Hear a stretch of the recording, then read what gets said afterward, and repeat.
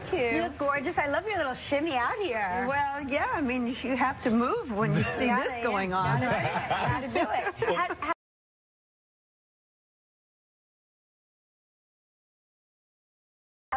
You have a cabin somewhere. I do. right? Cabin in northern Minnesota, yeah, Oh, up in the woods. It was oh. beautiful. Very peaceful. snow? Peaceful. Yeah, not a lot of snow, but uh, Christmas Day there was a beautiful snowfall. All the trees were dusted. I mean, it was, you know, it's like Hans Christian Andersen land up Yeah, there. yeah, it's yeah. beautiful. And I know you, you're a great photographer, and you're very Thank artistic, you. and you usually give a bunch of handmade Christmas gifts to everybody. Well, did you get a chance to do that this I year? didn't because we literally shot.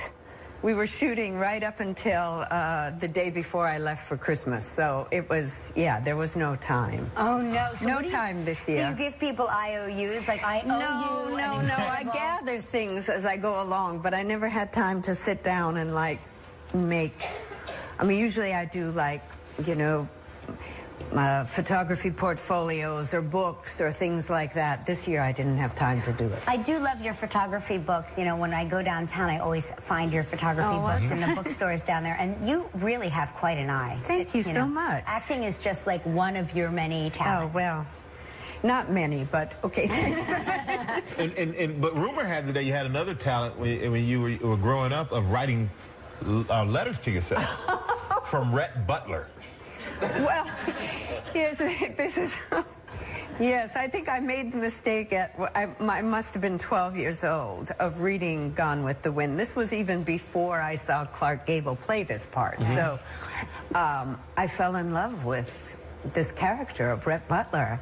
And I did. I used to, I, I would sometimes handwrite the letters, but sometimes I would like, you know, do like those anonymous things where they like you cut words out of newspapers and stuff. so I would piece together these letters, love letters to me from Rhett Butler. No kidding. Yes, and then it would be signed Rhett Butler. you know, but I was like this little 12 year old girl on You're top. on top of the skin. I mean, I've never seen somebody be able to so consistently access this gritty emotion the way you do.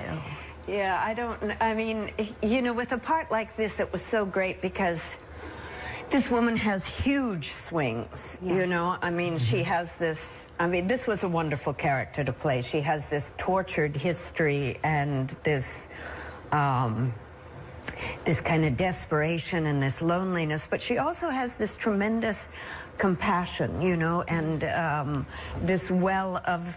She really, I, and that was the thing I wanted to make very clear is she really loves this family, this group of people that she takes care of and nurtures and also is unkind and, you know, all the complicated, like, human emotions. So, um, but it was wonderful because, you know, the way it was written, it's very big. The sweeps are huge. Mm. The, you know, emotion, the rage is enormous. The, the sorrow is enormous. So it's, it's a fun character to Is play. that why you say it's your favorite season of the four you've been on the show? Well, yes. I mean, I think because of that character, but also because of the group of people. You know, we mm-hmm. really were like this kind of troupe of gypsies. You know, it really Yeah. began to feel like a carnival. Yeah. And we were this, you know, kind of uh, fascinating group of misfits. Like all living and working together, and it was really quite an extraordinary year. Well, you are extraordinary, and we so enjoy watching you. Everything you do is so good. Good luck at the Golden Globes. Oh, thank you. Well deserved. Well deserved nomination. Make sure you check out American Horror Story Freak Show Wednesdays at 10 p.m. on FX. It's like I owe No, you. no, no. I gather things as I go along, but I never had time to sit down and like make. I mean, usually I do like, you know, uh, photography portfolios or books or things like that. This year I didn't have time to do it. I do love your photography books. You know, when I go downtown, I always find your photography Oh, books in the bookstores down there, and you really have quite an eye. Thank you so much. Acting is just like one of your many talents. Oh well, not many, but okay.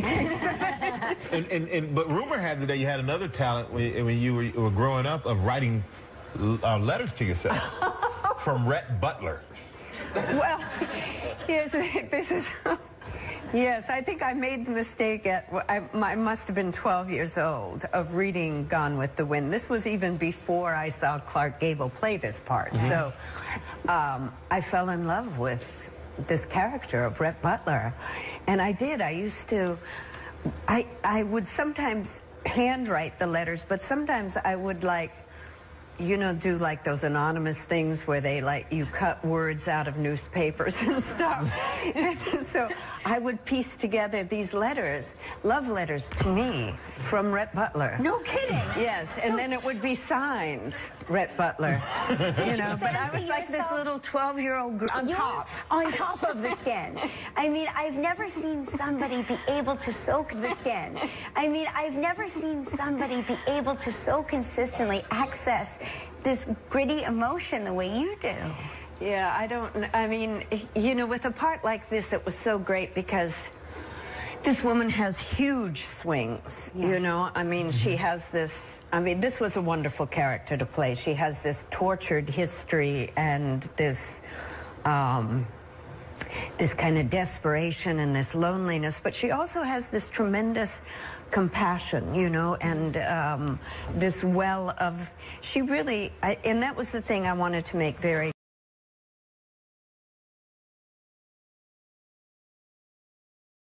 takes care of and nurtures and also is unkind and you know all the complicated like human emotions. So um, but it was wonderful because you know, the way it was written, it's very big. The sweeps are huge. Mm-hmm. The, you know, emotion, the rage is enormous. The, the sorrow is enormous. So it's, it's a fun is, character to is play. Is that why you say it's your favorite season of the four you've been on the show? Well, yes. I mean, I think because of that character, but also because of the group of people. You know, we mm-hmm. really were like this kind of troupe of gypsies. You know, it really yeah. began to feel like a carnival. Yeah. And we were this you know, kind of uh, fascinating group of misfits, like all living and working.